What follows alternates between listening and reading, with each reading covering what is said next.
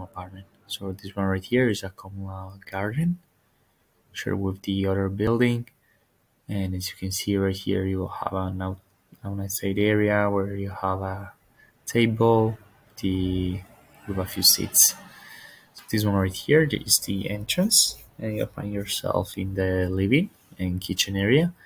So we have the sofa, there is a double bed, a chest of drawer, we have the kitchen on the side with the washing machine, oven, gas stove, television, air conditioning, and again the the door with the opposite view. So the kitchen itself is fully equipped, as you may notice.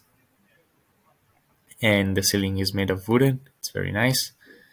Then right here we have uh, the bathroom on the left side with the sink, mirror, toilet, window, the radiator, and the shower in the corner. Right here we have a, a bunk bed